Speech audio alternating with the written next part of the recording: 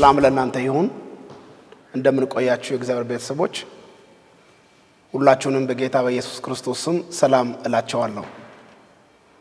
ዛሬ ከእግዚአብሔር ቃል ስለ ምስጋና እግዚአብሔርን ስለ ማመስገን አብረን የምናይበት ጊዜ ይሆናል።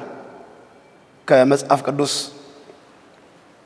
ኢሳያስ ምዕራፍ 43 ቁጥር 20 እስከ 24 ድረስ ያለውን ክፍል በጌታ በኢየሱስ ክርስቶስ ስም አነባለሁ።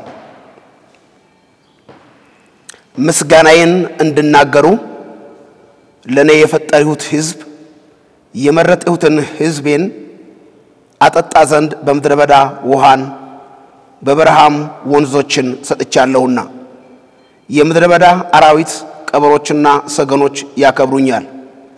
ያዕቆብ ሆይ አንተ ግን አልጠራኸኝም፣ አንተም እስራኤል ሆይ በእኔ ዘንድ ደክመሃል። ለሚቃጠል መሥዋዕት በጎችህን አላቀረብክልኝም፣ በሌላም መሥዋዕት አላከበርከኝም። በእህልም ቁርባን አላስቸገርኩህም፣ በዕጣንም አላደከምሁም። ዕጣንም በገንዘብ አልገዛልኝም፣ በመሥዋዕትም ስብ አላጠገብከኝም። ነገር ግን በኃጢአትህ አስቸገርከኝ፣ በበደልህም አደከምከኝ ይላል። እግዚአብሔር እንዲያስተምረን እንጸልይ። እግዚአብሔር አምላካችንና አባታችን ሆይ በጌታችንና በመድኃኒታችን በኢየሱስ ክርስቶስ ስም ስለሰጠን መልካም ቀን እናመሰግናለን። በጌታ በኢየሱስ ክርስቶስ ስም ስለዚህ ቀን ክብር ሁሉ ለስምህ ብቻ ይሁን። እግዚአብሔር አምላክና አባት ሆይ አሁን ደግሞ አንተ ከእኛ የምትፈልገውን እንድናደርግ እንድታስተምረን እኛ መፈጸም ያለብንን ማድረግ ያለብንን ለአንተ ለእግዚአብሔር ማድረግ ያለብንን እንድታስተምረን በኢየሱስ ክርስቶስ ስም እንለምንሃለን። ቃልህ ይገለጥልን። ማንኛውም ክፋት ሁሉ በኢየሱስ ክርስቶስ ስም የተሰበረ ይሁን። ሰላም በምድር ለሰዎች ልጆች ይሁን። ክብር በሰማያት ላንተ ብቻ ይሁን። በጌታ በኢየሱስ ክርስቶስ ስም አሜን። አሁን ባነበብኩት ክፍል ውስጥ እጅግ የሚገርም እግዚአብሔር ከሰው የሚፈልገው ትልቅ ነገር እንዳለ እናያለን። በተለይም ኢሳያስ ምዕራፍ 43 ቁጥር 20 እና 21 ላይ ምስጋናዬን እንድናገሩ ለእኔ የፈጠርሁት ሕዝብ የመረጥሁትን ሕዝቤን አጠጣ ዘንድ በምድረ በዳ ውሃን በበረሃም ወንዞችን ሰጥቻለሁና የምድረ በዳ አራዊት ቀበሮችና ሰገኖች ያከብሩኛል።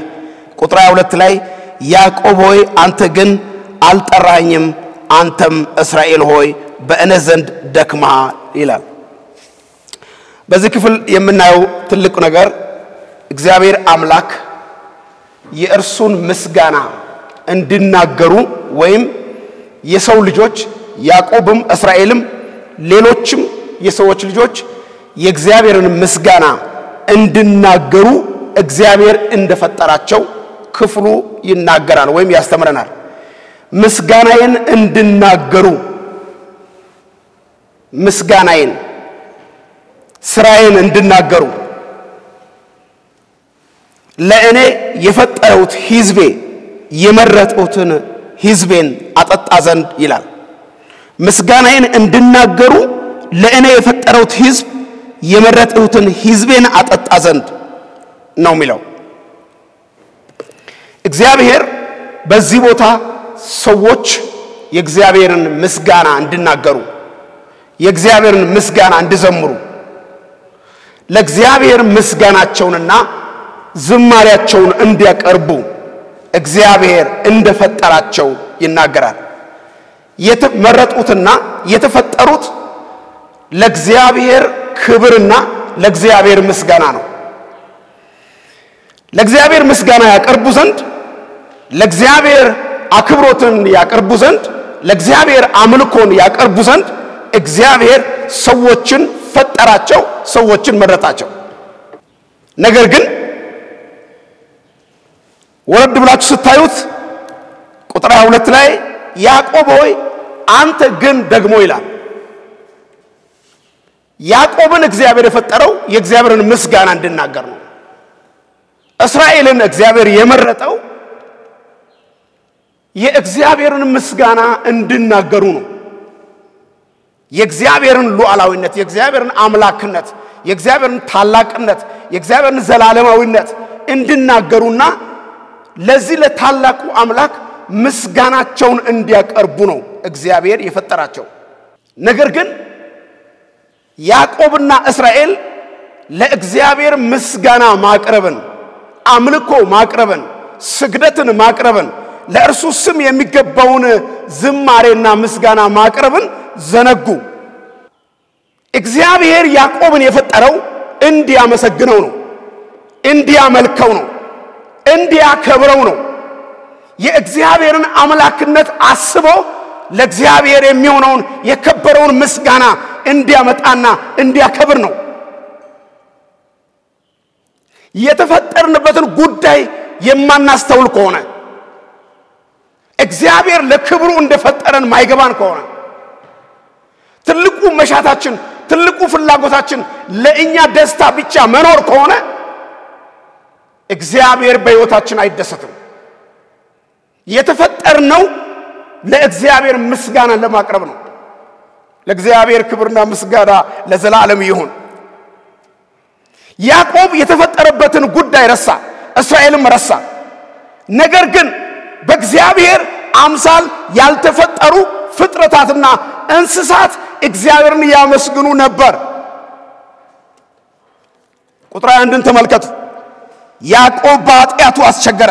እግዚአብሔር የእግዚአብሔርን ምስጋና እንዲናገር የፈጠረው ያዕቆብና ሕዝብ እግዚአብሔርን በኃጢአቱ ሲያስቸግርና እግዚአብሔርን ሲበድል፣ ነገር ግን ቁጥር 21 ላይ በእግዚአብሔር አምሳል ያልተፈጠሩ የምድረ በዳ እንስሳት እግዚአብሔርን ያመስግኑ ነበር። ቁጥር 21ን ተመልከቱ። በምድረ በዳ ውሃን በበረሃም ወንዞችን ሰጥቻለሁና የምድረ በዳ አራዊት ቀበሮችና ሰገኖች ያከብሩኛል። የእግዚአብሔርን ምስጋና ይናገሩ ዘንድ የተፈጠሩ ሰዎች የማያመሰግኑ ሆነው ሲገኙ፣ በምድረ በዳ ላይ የሚገኙ ቀበሮችና እንስሳት ግን እግዚአብሔርን ያከብሩ ነበር። ይህ በጣም የሚያሳዝን የህይወት ውድቀት ነው። እግዚአብሔርን ማመስገን ለምንድን ነው የሚያቅተን? ለእግዚአብሔር ምስጋና ማቅረብ ለምንድን ነው የሚያቅተን? እኛ እኮ ትልቅ ነገር የተደረገልን ትልቅ ቸርነት የተደረገልን በእግዚአብሔር አምሳል የተፈጠረን የእግዚአብሔር ሰዎች ነን። ለምንድን ነው እንስሳት ሲያመሰግኑ፣ ፍጥረታት ሲያመሰግኑ፣ በእግዚአብሔር አምሳል ያልተፈጠሩ በምድረ በዳ የሚገኙ አራዊቶች እና ቀበሮች እግዚአብሔርን ሲያከብሩ እግዚአብሔርን ማመስገን ለምንድን ነው የሚያቅተን? ለምንድን ነው ትዝ የማይለን? እግዚአብሔርን ለማመስገን እግዚአብሔር ትልቅ ውለታ ያዋለው ማን ነው? ለእንስሳት ነው ወይስ ለእኛ ነው? ምስጋናዬን እንዲናገሩ የመረጥኩት የፈጠርኩት የጠራሁት ሕዝቤ አላመሰገኑኝም፣ በኃጢአታቸው አደከሙኝ። ነገር ግን በምድረ በዳ የሚገኙ ፍጥረታት እነሱ አከበሩኝ። ከምድረ በዳ ውሃ ጠጥተው አመሰገኑኝ፣ አከበሩኝ ይላል። በጣም የሚያሳዝን ነው። አእምሮ የሌላቸው ፍጥረታት እግዚአብሔርን ሲያመሰግኑ እግዚአብሔር በሰማይ ሰማ። በእግዚአብሔር መልክ ያልተፈጠሩ ፍጥረታት በጉድጓድና በዋሻ ውስጥ ያሉ እግዚአብሔር የሰጣቸውን ውሃ ጠጥተው እግዚአብሔርን ሲያመሰግኑ እግዚአብሔር ሰማ። በእግዚአብሔር አምሳል የተፈጠሩ ሰዎች ግን ሲያጉረመረሙ እግዚአብሔር ሰማ። በእግዚአብሔር አምሳል የተፈጠሩ ሰዎች ምስጋናቸውን ትተው እግዚአብሔርን ማምለክ ትቶ እግዚአብሔርን ማክበር ትቶ ለእግዚአብሔር የሚገባውን ምስጋና መስጠት ትቶ እነሱ በዘረኝነት ሲጠመዱ፣ እነሱ ሰውን በማፈናቀል ሲሰሙ ሲደመጡ፣ እነሱ ፈጣሪያቸውን ሲረሱ ለእግዚአብሔር ምስጋና ያቀርቡ ዘንድ እግዚአብሔር በመልኩ የፈጠራቸው ሰዎች ሲያጉረመረሙ እግዚአብሔር ሰማ። እንስሳት ግን እግዚአብሔር የሰጣቸውን ውሃ ጠጥተው በልተው እግዚአብሔርን ሲያከብሩና ሲያመሰግኑ እግዚአብሔር ሰማ። ወገኖች ሆይ እግዚአብሔርን እንድናመሰግን ነው የተፈጠር ነው። እግዚአብሔር የተለየ አምላክ ነው፣ ለሱ ምስጋና ይገባዋል። እግዚአብሔር ንጹሕ አምላክ ነው፣ ለሱ ምስጋና ይገባዋል። አንዳንድ ጊዜ የማናመሰግነው ያልተሰጠንን ነገር ስለምናስብ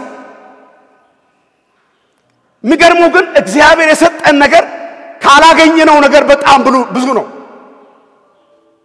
የተወደዳችሁ የእግዚአብሔር ሰዎች ዛሬ አንድ ነገር እንድታስቡ እፈልጋለሁ። ማጉረመረምን አቁማችሁ፣ ጥላቻን አቁማችሁ፣ መለያየትን አቁማችሁ እንድታመሰግኑ የፈጠራችሁትን አምላክ በግል ሕይወታችሁ ትልቅ የሕይወት ዋስትና የሆነላችሁን አምላክ እንድታመሰግኑ ላሳስባችሁ እፈልጋለሁ። እግዚአብሔር ከፀሐይ መውጫ ጀምሮ እስከ መግቢያ ድረስ የተመሰገነ ይሁን። እግዚአብሔር ከሕይወታችን አምልኮን፣ ምስጋናን፣ ክብርን፣ ውዳሴን ይፈልጋል። ይህንን ደግሞ የሰዎች ልጆች ብቻ ናቸው ማቅረብ የሚችሉት። እኛ ማጉረመረምን ቀጠልንና ምስጋናን ተወነው። መለያየትን ቀጠልንና ከእግዚአብሔር ራቀን። በከንፈራችን ቅርብ ሆነን በልባችን ግን ሩቅ ሆነን ማመስገን አቃተን። የምናጉረመርም ሰዎች ሆነን የእግዚአብሔር ሰዎች ዛሬ ዕዳ አለብን። እንድናመሰግን ይፈልጋል እግዚአብሔር። ጥቂት ነገሮችን ልንገራችሁ። እግዚአብሔርን የምናመሰግነው ለምንድን ነው? ለምን እግዚአብሔር እኛ እንድናመሰግነው ይፈልጋል? ለእግዚአብሔር ምስጋና የምናቀርብበት ትልቁ ምክንያት ምንድን ነው? ለምንድን ነው ለእግዚአብሔር ምስጋና ያስፈልገው? እግዚአብሔር ቸርነቱና ምሕረቱ ዘላለማዊ ስለሆነ ቸርነቱና ምሕረቱ ዘላለማዊ ስለሆነ እንደ እግዚአብሔር ቸር አምላክ እንደ እግዚአብሔር በምሕረቱ ባለጠጋ የሆነ አምላክ የለም። አንደኛ ዜና ምዕራፍ 16 ቁጥር 34 እስከ 36 ላይ ስለ እግዚአብሔር ቸርነትና ስለ እግዚአብሔር ምሕረት መጽሐፉ ይነግረናል። እኔ ስለ እግዚአብሔር ቸርነት ሳስብ ከምስጋና የሚበልጥ ሌላ ነገር ብኖር እንኳ ብናቀርበው ቸርነቱና ምሕረቱ በሕይወታችን ያደረገው ነገር ከምስጋና ሌላ የሚበልጥ ነገር ቢኖር ብናቀርብ እንኳን ለእግዚአብሔር ትንሽ ነው። የእግዚአብሔርን ቸርነት ሳስብ ከእናታችን ማኅፀን ጀምሮ ከእናታችን ማኅፀን ጀምሮ ምናልባት አንድ ጥያቄ ልጠይቃችሁ። አሁን ዕድሜያችሁ ስንት ነው? ወንድሜ የአንተ ዕድሜ አሁን ስንት ነው? የአንዳንዶቻችሁ ከስልሳ በላይ ነው። የአንዳንዶቻችሁ ከስልሳ በታች ነው። የአንዳንዶቻችሁ ምናልባት ምናልባት መቶ ደርሶ ሊሆን ይችላል። ሁል ጊዜ ሳስብ የደረቁ ሐይቆችን ሳስብ የደረቁ ሐይቆችን ሳስብ የሚገርመኝ የእግዚአብሔር ምሕረት ነው። በባህር ላይ ሐይቅ ሲደርቅ ስታዩ በሐይቁ ቦታ ሳሩ ሲያድግ አፈር ሲሆን ባዶ ሲሆን ያ ትልቁ ባህር ሲደርቅ ያልደረቀው ለእኛ ምን ነበር? የእግዚአብሔር ምሕረት ነበር። የእግዚአብሔር ቸርነት ነበር። የተጠራቀመው ገንዘባችን ሲጠፋ፣ ኪሳችን ባዶ ሲሆን፣ አካውንታችን ባዶ ሲሆን፣ ውበታችን ድርቅ ስል፣ አንዳንድ ጊዜ ዝናችን ሲወገድ፣ ክብራችን ሲጠፋ፣ በሐዘን ስንዋጥ፣ የእግዚአብሔር ምሕረት ግን አልጎደለም። ስለዚህ ምሕረቱንና ቸርነቱን አስበን ለእግዚአብሔር ምስጋና እንድናቀርብ ያስፈልጋል። ክብር ለኢየሱስ ይሁን። ከእናታችን ማኅፀን ጀምሮ እስከ ሽበት ሽምግልና ድረስ የእግዚአብሔርን ቸርነት አስበን ምስጋና ማቅረብ ያስፈልጋል። እስከዚህ ሰዓት ድረስ እስከዚህ ዕድሜ ድረስ እግዚአብሔር የሰጠን እስትንፋስ አስበን ምንም መሳሪያ ሳይገጠምብን፣ ክብር ለኢየሱስ ይሁን። ምንም መሳሪያ ሳይገጠምብን እግዚአብሔር በተፈጥሮ በሰጠን ጸጋ መተንፈስ ችለን መግባት ችለን መውጣት ችለን፣ አስቡ ወገኖቼ፣ ከእናት ማኅፀን ጀምሮ እስከ ዛሬ ድረስ ስንት ጊዜ ወጥተሃል፣ ስንት ጊዜ ገብተሃል። በዚህ ሁሉ ግን የእግዚአብሔር ቸርነት ካንተ ጋር ነበር። የእግዚአብሔር ምሕረት ካንተ ጋር ነበር። ጎሎብህ አያውቅም። የእግዚአብሔር ምሕረት ቸርነቱና ምሕረቱ ከእናታችን ማኅፀን ጀምሮ እስከ ሽበት ሽምግልና ድረስ ይቀጥላል። ባህሩ ሲደርቅ ምሕረቱ አይደርቅም። ገንዘብ ስጠፋ ምሕረቱ አይጠፋም። የምናምናቸውና ዘመዶች ወገኖች ናቸው ብለን የምናስባቸው ሰዎች እነሱ ገፋ ሲያደርጉን ምሕረቱ ገፋ አያደርገንም። የተወደዳቸው የእግዚአብሔር ሰዎች በምድረ በዳ የሚገኙ እንስሳት ውሃን በጠጡ ጊዜ አምላካቸውን ያመሰግናሉ። ትንሽ ነገር በበሉ ጊዜ አምላካቸውን ያመሰግናሉ። እኔና እናንተ ግን ከእናታችን ማኅፀን ጀምሮ በምሕረቱና በቸርነቱ ላቆመን፣ ለደገፈን፣ ላስገባን፣ ላስወጣን ለእርሱ ምስጋናን እንድናቀርብ እግዚአብሔር ይፈልጋል። ሰማያትን የሸፈነው ደመና ስጠፋ፣ ባህርን የሞላው ውሃ ስጠፋ፣ ገንዘብና አካውንትና ኪስ የሞላው ገንዘብ ስጠፋ፣ የልጅነትና የወጣትነት ውበት ስጠፋ ያልጠፋውን ቸርነት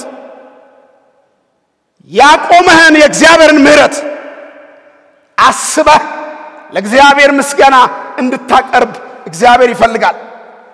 ምናልባት አንዳንዶቻችን ሙሉ ጤንነት ስላለን እግዚአብሔርን አመስግነን አናውቅም ይሆናል። ምክንያቱም የምንፈልገውን ነገር በምንፈልገው ጊዜ እናደርጋለን። እኛ የቻለን ይመስልናል፣ ያስቻለንን ግን አናመሰግንም። መጽሐፍ ቅዱስ ምንድን ነው የሚለው? መግባትንና መውጣትን እጠብቃለሁ ነው የሚለው። መውጣት ያንተ የችሎታ ጉዳይ አይደለም። ከወጣበት መግባት ያንተ የችሎታ ውጤት አይደለም። እግዚአብሔር ነው መግባታችንና መውጣታችን በምሕረቱና በቸርነቱ የሚደግፍ። ዳዊት እኔም ተኛው አንቀላፋው እግዚአብሔር ደግፎኛልና ነቃሁ ነው የሚለው። ተኛው አንቀላፋው እግዚአብሔር ደግፎኛልና ነቃሁ። ብድግ አልኩት። ለእኔ ተፈጥሯዊ ስለሆነ ምንም አልተቸገርኩም አይልም። እግዚአብሔር ስለደገፈኝ፣ በምሕረቱ ስለደገፈኝ ከተኛሁበት ነቃሁ። ከመኝታችሁ ስትወርዱ፣ እግራችሁን ከአልጋችሁ ስታወርዱ፣ በራችሁን ከፍታችሁ ስትሄዱ ስለምትችሉት ነው የምታደርጉት። እንደዚህ ማሰብ አንችልም። የኛ መግባትና የኛ መውጣት በእግዚአብሔር እጅ ውስጥ ነው ያለው። ክብር ለኢየሱስ ይሁን። የምሕረቱና የቸርነቱን ጥልቀት ባሰበን ጊዜ ሁሉ ለእግዚአብሔር ምስጋናን ማቅረብ ያስፈልጋል። በእግዚአብሔር ቸርነት አድገን ምናልባት ወላጆቻችን በልጅነት ሞተው በዘመድ ቤት አድገን ዛሬ የአገር መሪ የሆነን ጎዳና ላይ ወድቀን ከዚያ እግዚአብሔር አንስቶን ዛሬ በከበረ ስፍራ የምንኖር የእግዚአብሔርን ቸርነትና ምሕረት እንድታስቡ ጊዜ ሰጣቸዋል። እስቲ አንድ ነገር ደግሞ ልጠይቃችሁ። በበሽታ ጊዜ እንዴት በሕይወት ኖራችሁ? አሁን ባለንበት በዚህ ጊዜ የዚህ የኮቪድ 19 ጉዳይ እጅግ አስቸጋሪ በሆነ ጊዜ የምንሳፈርበት መኪና በስጋት ነው። የምንቀመጥበት ወንበር በስጋት ነው። ሰው ሲሰበሰብ ስጋት ነው። ስጋት በስጋት በሆነ ጊዜ እግዚአብሔር እንዴት ነው የጠበቃችሁ?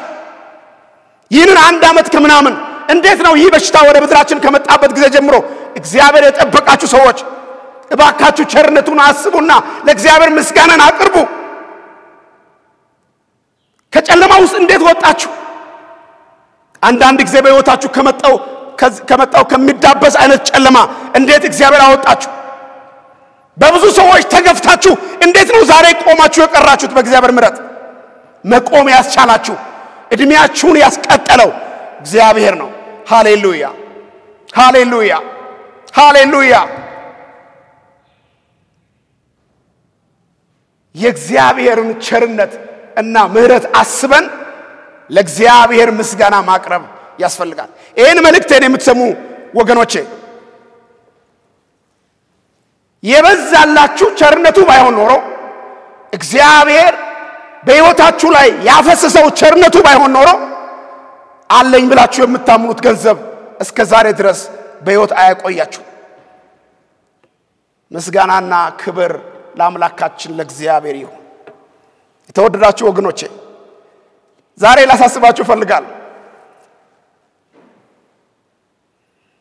ሰዎች አራቱን አቅጣጫ ዘግቶባችሁ እግዚአብሔር ሰማይ የከፈተላችሁ ሰዎች ሞት አውጆባችሁ እግዚአብሔር ግን በሕይወት እንድትኖሩ የፈቀደላችሁ ሰዎች እባካችሁ ተነስታችሁ ለእግዚአብሔር ምስጋና እንድታቀርቡ ፈልጋል።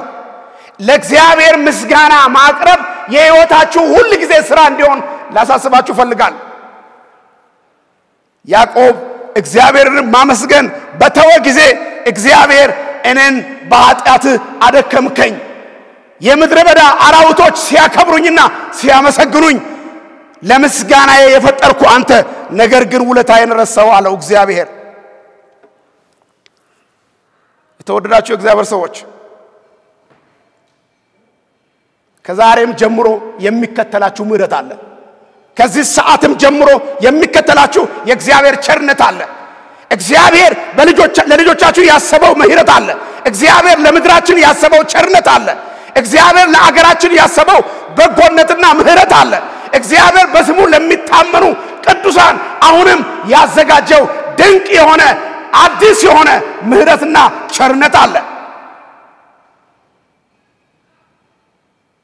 ውሃ ሊደርቅ ይችላል። ገንዘብ ሊጠፋ ይችላል። ወጣትነት ሊጠፋ ይችላል። የእግዚአብሔር ምሕረት ግን በፍጹም አይጠፋም። ስለዚህ ስለ ምሕረቱና ስለ ቸርነቱ እግዚአብሔርን እንድታመሰግኑ በጌታ ፍቅር ላሳስባችሁ ፈልጋለሁ። እግዚአብሔር የተመሰገነ ይሁን። አሁን በወንበር ላይ የተቀመጣችሁ፣ አሁን መንገድ ላይ የምትሄዱ፣ አሁን የምትበሉ፣ አሁን የምትጠጡ፣ መብላት ስለቻላችሁ መንዳት ስለቻላችሁ ሳይሆን ምሕረቱ ስለበዛ ነው። ያንን ምሕረት አስባችሁ አምላካችሁን ባላችሁበት ቦታ እንድታመሰግኑ እፈልጋለሁ። ስለዚህ እግዚአብሔርን ማመስገን ያለብን ምሕረቱንና ቸርነቱን ስለተካፈለን ነው። ይህንን ዘመን በእግዚአብሔር ምሕረት እያለፈን በቸርነቱ ተደግፈን ከምድረ በዳ እየወጣን ስለሆነ እግዚአብሔርን እንድታመሰግኑ ላሳስባችሁ እፈልጋለሁ። ሁለተኛው እግዚአብሔርን ማመስገን ያለብን ለእግዚአብሔር ምስጋና ማቅረብ ያለብን ትልቁ ነገር እግዚአብሔር በቃሉ ሁል ጊዜ ለእኛ የታመነ አምላክ ስለሆነ ነው። እግዚአብሔር ታማኝ ነው። እግዚአብሔርን ስለ ታማኝነቱ ማመስገን ያስፈልጋል።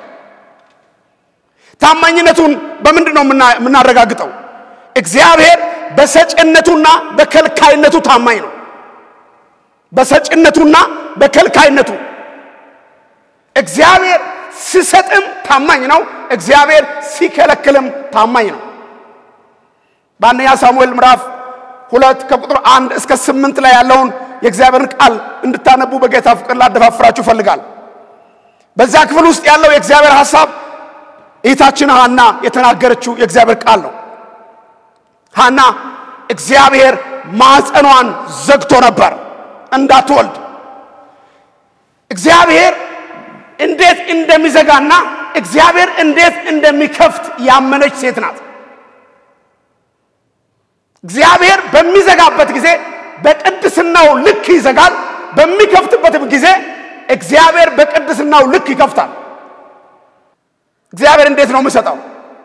እግዚአብሔር አንዳንድ ጊዜ የተዘጋውን ነገር ከፍቶ ይሰጣል። የተዘጋውን ነገር የተቆለፈው ነገር ሰው መድረስ የማይችለውን እግዚአብሔር ወደ አንተ ያቀርባል። ይሄ የሰጭነቱ ጉዳይ ነው፣ ወይም በሉዓላዊነቱ የሚከፍተው በር ነው። እግዚአብሔር ይከለክላል። እሺ፣ እግዚአብሔር ሲከለክልና እግዚአብሔር ሲሰጥ ለእግዚአብሔር ምንድን ነው የምናቀርበው? ሲሰጥ ምስጋና አቅርበን እግዚአብሔር ሲከለክል ማጉረመረምን የምናቀርብ ከሆነ የተፈጠርነው ለዚህ አይደለም። የመስጠትና የመከልከል ፈቃዱ በቅድስናው የተረጋገጠ ነው እንጂ በቅድስናችን የተረጋገጠ አይደለም። እንድሰሙ ይፈልጋል። እንደርሱ የሚዘጋ እንደርሱ የሚከፍት የለም። እግዚአብሔር ሲዘጋም ልክ ነው፣ እግዚአብሔር ሲከፍትም ልክ ነው። እግዚአብሔር ያዕቆብን ሲወድ እና ኤሳውን ሲጠላ የመጥላት መንፈስ ስላለ የጥላቻ መንፈስ ስላለው አይደለም። እግዚአብሔር በቅድስናው ልክ ነው ምርጫው። እግዚአብሔር በቅድስናው ልክ ነው የሚሰጥህ። ሐና በተናገረችው ቃል ውስጥ እግዚአብሔር ድሃ ያደርጋል፣ እግዚአብሔር ባለጠጋ ያደርጋል አለች።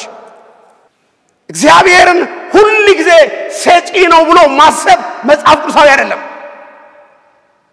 እግዚአብሔር ሁል ጊዜ ሊሰጥ አይችልም፣ ፈቃዱም አይደለም። እግዚአብሔር ድሃ የሚያደርገው ማንን ነው? እግዚአብሔር ትዕቢተኞችን ድሃ ያደርጋቸዋል።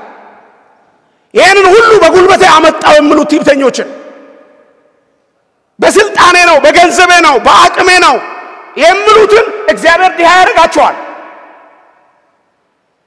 ባለጠጋም ያደርጋል። ማንን? በስሙ የሚታመኑ በስሙ የሚደገፉትን በትሕትና መንገድ የሚሄዱትን በቅንነት የሚከተሉትን እግዚአብሔርን የሚፈሩትን እግዚአብሔር ደግሞ ባለጠጋ ያደርጋቸዋል። ባለጠጎች ባለጠጋ ስለሆናችሁ እግዚአብሔርን ማመስገን ያስፈልጋቸዋል።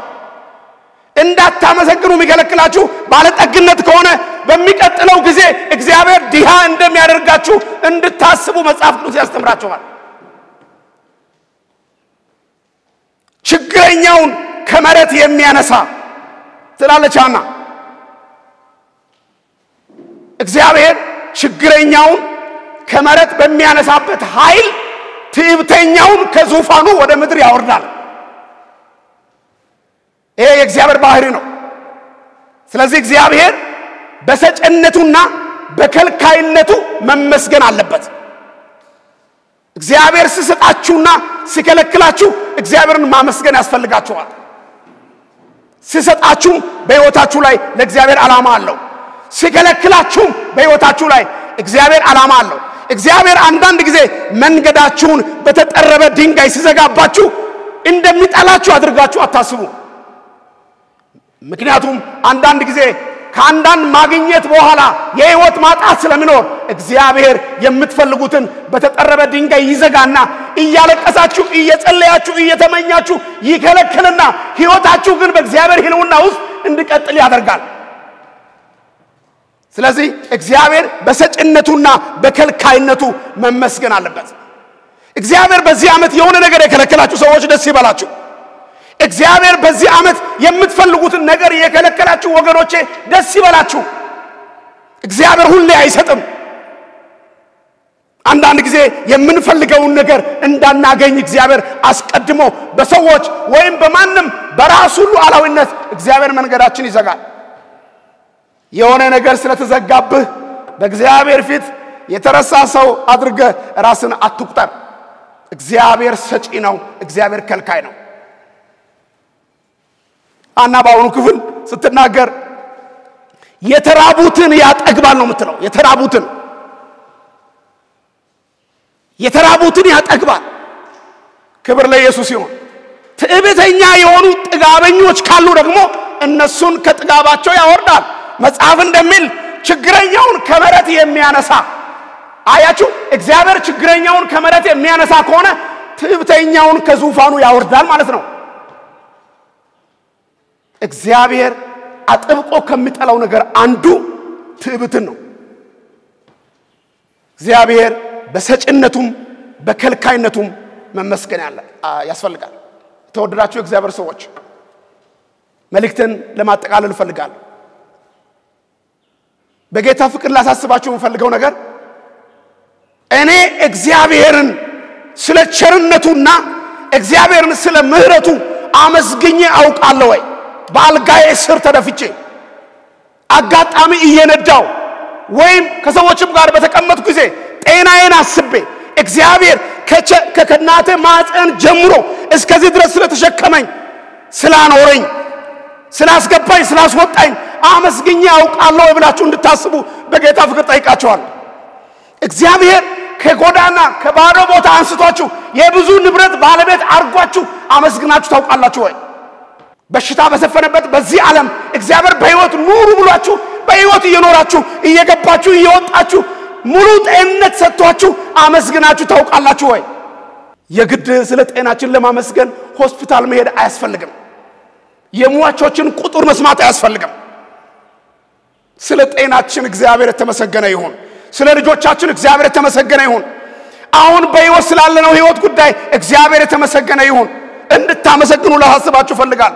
ቸርነቱን አስቡ፣ ምሕረቱን አስቡ፣ በጎነቱን አስቡ።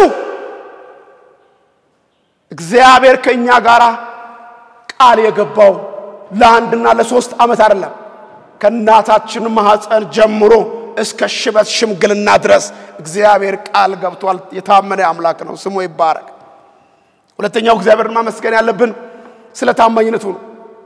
እግዚአብሔር ታማኝ ነው ስንል ምን ማለት ነው? እግዚአብሔር ሰጪ ነው፣ እግዚአብሔር ከልካይ ነው ማለት ነው። እግዚአብሔር የከለከላችሁ ሰዎች፣ አልፎ መንገዳችሁን የዘጋባችሁ ሰዎች የምትፈልጉትን ነገር በምትፈልጉት ጊዜ ስላልሰጣችሁ አመስግኑ።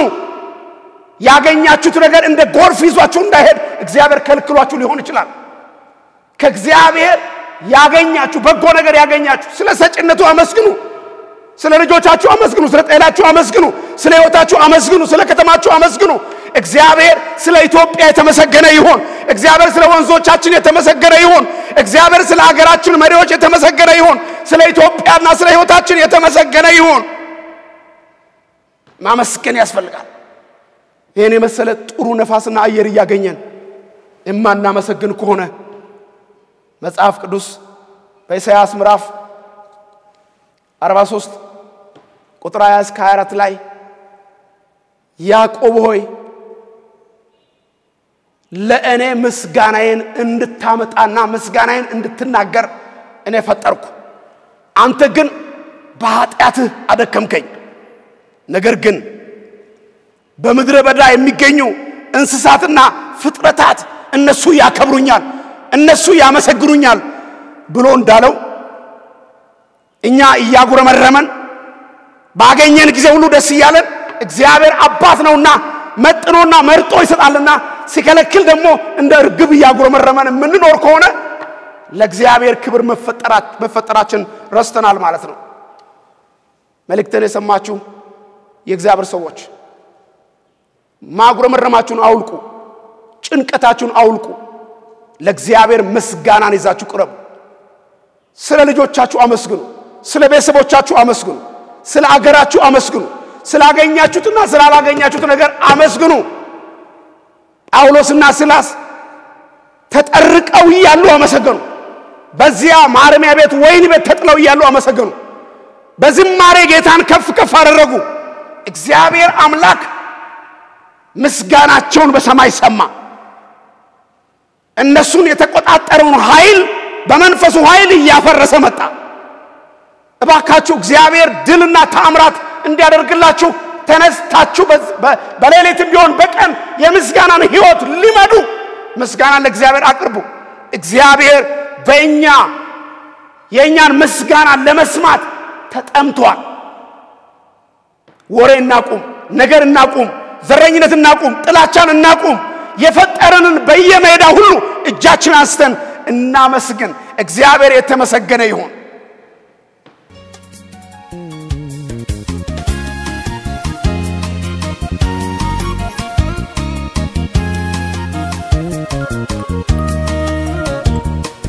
ለዚህ ለጸሎት ጊዜ የሚሆን የእግዚአብሔር መንፈስ ከቃሉ ውስጥ አንድ ክፍል እንዳነብ ያሳሰበኝን አንብቤ ጸልያለሁ። ዘካርያስ ምዕራፍ አንድ ከቁጥር 18 እስከ 21 ቁጥር ያለውን ክፍል አነባለሁ። ዓይኖቼንም አንስቼ እነሆ አራት ቀንዶች አየሁ። ከእኔም ጋር ይነጋገር የነበረውን መልአክ እነዚህ ምንድናቸው አልሁት። እርሱም እነዚህ ይሁዳንና እስራኤልን ኢየሩሳሌምንም የበተኑ ቀንዶች ናቸው ብሎ መለሰልኝ።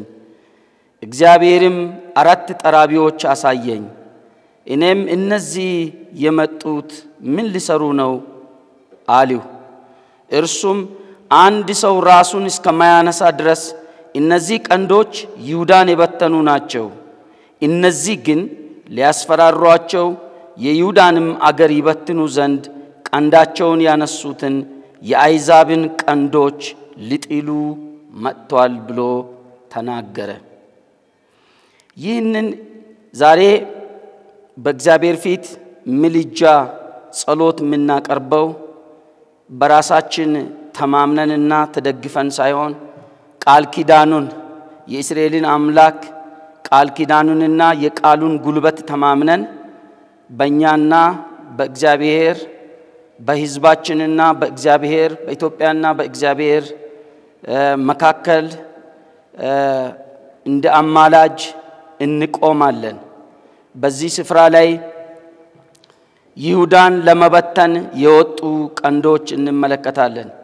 እግዚአብሔር ግን በአጸፋው ደግሞ ያንን ቀንድ የሚሰብርና ለይሁዳ ምድር ደግሞ ሰላም እንዲሆን የሚያደርግ ተዋጊ ሌላ ቀንድ ሲያስነሳ እንመለከታለን። የእኛ አቅም ውስን ነው። ነገር ግን ወደ እግዚአብሔር እንጮኻለን። አቅም የሌለው ሰው እርዳታ የሚፈልግ ሰው ወደ እግዚአብሔር ይጮኻል። ዛሬም ደግሞ ሕዝባችንን ወክለን ኢትዮጵያን ወክለን ቤተ ክርስቲያንን ወክለን በፊቱ የክርስቶስን ጽድቅ ለብሰን ይህ የሕማማት ወቅት ነው። ስለ እኛ በእግዚአብሔር ፊት ኢየሱስ ክርስቶስ ምልጃ ያቀረበበት ወቅት ነው። እኛ ደግሞ በዚህ የምጥ ወቅት ለኢትዮጵያ ደግሞ ወደ እግዚአብሔር ፊት ምልጃ እናቀርባለን፣ እንጸልያለን። ቅዱስና ጻድቅ የሆንክ የዘላለም አምላክ እግዚአብሔር በዚህ ጊዜ እኔና ወገኖቼ ወደ ታመነው ወደ ጸጋይ ዙፋን ፊት በእምነት እንቀርባለን። እግዚአብሔር አምላካችን ሆይ ድካማችንን፣ በደላችንን፣ ስንፍናችንን፣ ኃጢአታችንን ሁሉ ስለ እኛ በመስቀል ላይ የተሰቀለውን ደሙን ያፈሰሰውን ደግሞ ሞትን ድል አድርጎ በአብ ቀኝ የተቀመጠውን ዛሬም ስለ እኛ የሚማልደውን ልጅህን ኢየሱስ ክርስቶስን ተመልክተ የእኛን በደል ሁሉ እንድታጥብና ልመናችንን ጸሎታችንን እንድትሰማ በኢየሱስ ክርስቶስ ስም እንጸልያለን። እግዚአብሔር አምላካችን ሆይ ሞገስ ብናገኝ በፊትህ ብትቀበለን አቤቱ እኛ ተዋርደን እኛ ዝቅ ብለን አቤቱ ይችን ምድር እንድትታደጋት ሕዝቧን እንድትታደግ ትውልዱን እንድትታደግ አቤቱ ሰሜንን ይዘን ወደ ጸጋው ዙፋን ፊት ምዕራብ ኢትዮጵያን ይዘን ወደ ጸጋው ዙፋን ፊት ደቡብ ኢትዮጵያን ይዘን ወደ ጸጋው ዙፋን ፊት ምስራቅ ኢትዮጵያን ይዘን ወደ ጸጋው ዙፋን ፊት አዲስ አበባን ማዕከላዊ ኢትዮጵያን ይዘን ወደ ጸጋው ዙፋን ፊት እንቀርባለን። እግዚአብሔር ሆይ እነሆ በዳር ድንበር ላይ ያለውን ሰራዊት ይዘን ወደ ጸጋይ ዙፋን ፊት እንቀርባለን። ተቋማትን ሁሉ፣ የልማት አውታሮችን ሁሉ፣ ፋብሪካዎችን ሁሉ፣ ሚኒስቴሮችን ሁሉ፣ ቤተ መንግስትን ሁሉ፣ ቤተ መቅደስን ሁሉ፣ ካህናትንና መሪዎችን ሁሉ ይዘን ወደ ጸጋይ ዙፋን ፊት እንቀርባለን። እግዚአብሔር የዘላለም አምላክ ይችን ምድር ለታመኑ እጆች አደራ አሳልፈን እንሰጣለን። እግዚአብሔር አምላካችን ሆይ በምድራችን ላይ የሚፈሰውን ደም እግዚአብሔር ሆይ በቃ እንድትል ትእዛዝ ካንተ ዘንድ እንዲወጣ አዋጅ እንዲወጣ አዋጅ ነጋሪ መልአክ በምድሪቱ ዙሪያ ላይ እንድመላለስ አጥፊው መልአክ ግን እግዚአብሔር ሆይ ዝም እንድል ጸጥ እንድል እግዚአብሔር የዘላለም አምላክ እኛ እግዚአብሔር ሆይ ይህ የመጣብንን ወገን ልንቃወም የምንችል አይደለንም። አንድ ነገር ግን እናውቃለን። ዛሬ ወንዶችና ሴቶች ልጆች በፊት እንቆማለን። እግዚአብሔር ሆይ ከዙፋኒ ትእዛዝ እንዲወጣ በኢየሱስ ክርስቶስም እጸልያለሁ። ከዙፋኒ ትእዛዝ ይውጣ።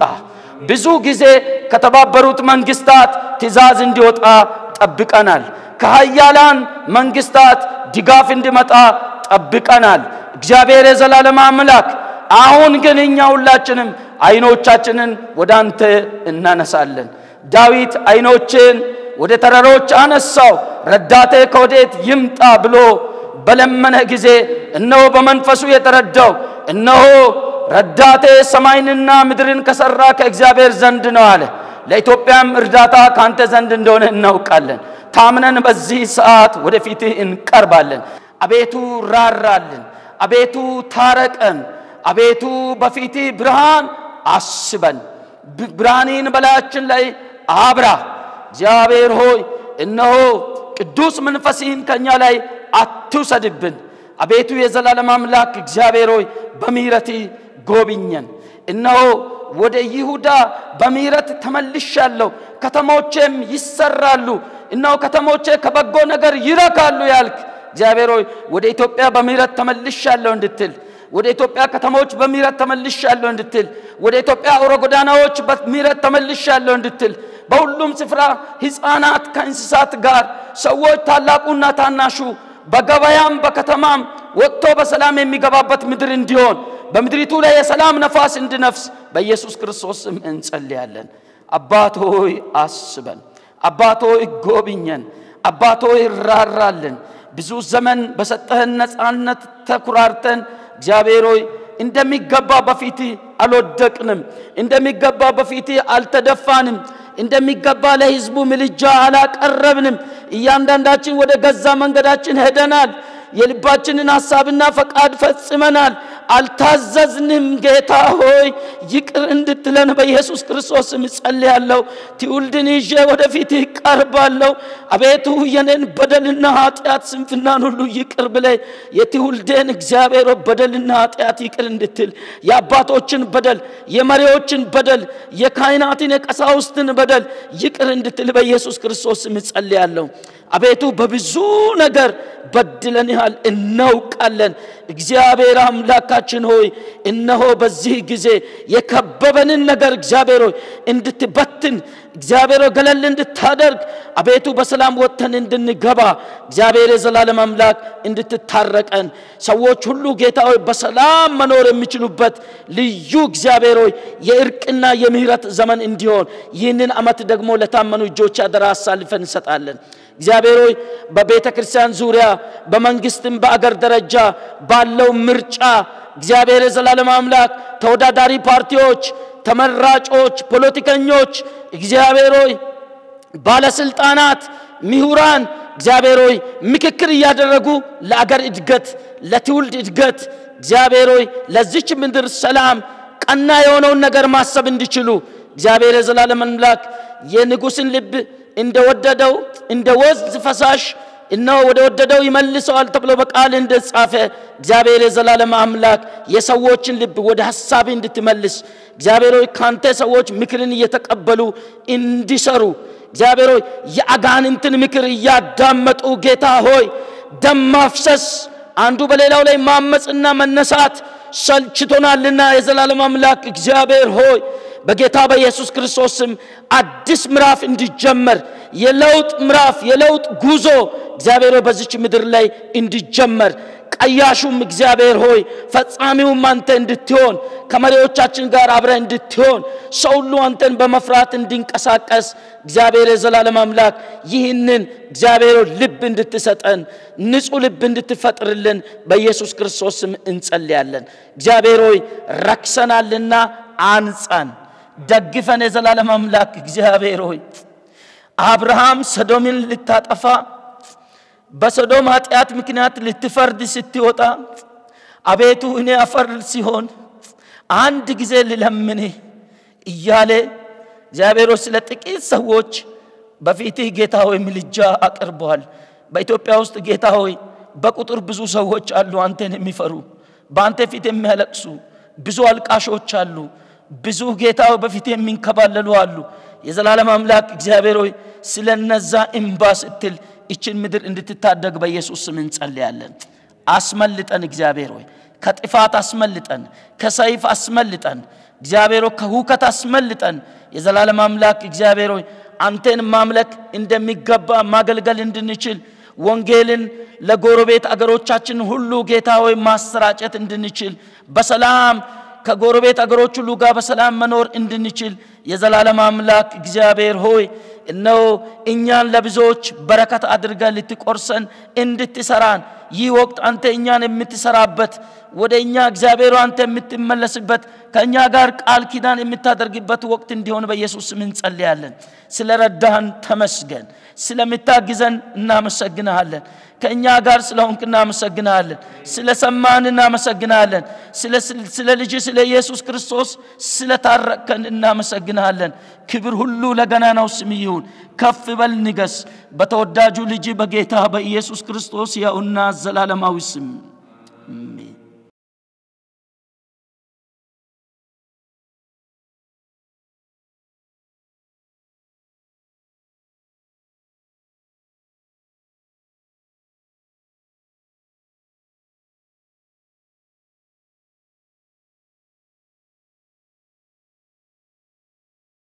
うん。